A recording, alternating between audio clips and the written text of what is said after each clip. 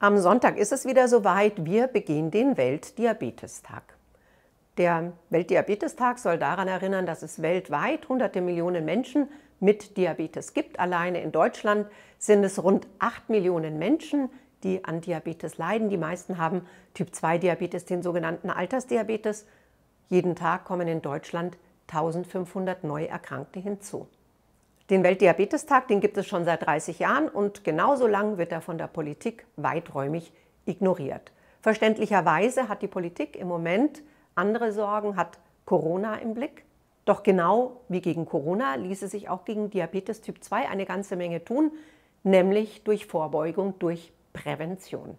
Dazu gehört bessere Ernährung, mehr Bewegung, aber auch entschiedene Maßnahmen der Politik, zum Beispiel eine Zuckersteuer auf zuckerhaltige Getränke, eine verbindliche Ampelkennzeichnung von Lebensmitteln, sodass Verbraucher erkennen können, wenn ein Lebensmittel ungesund ist.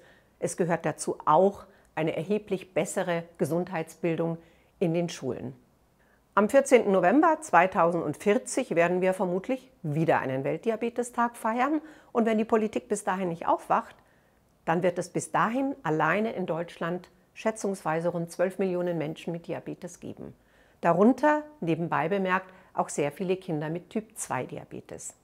Zum Weltdiabetestag wünsche ich mir daher von der neuen Regierung vor allem eines, bitte nehmen Sie endlich auch die Menschen mit Diabetes in den Blick.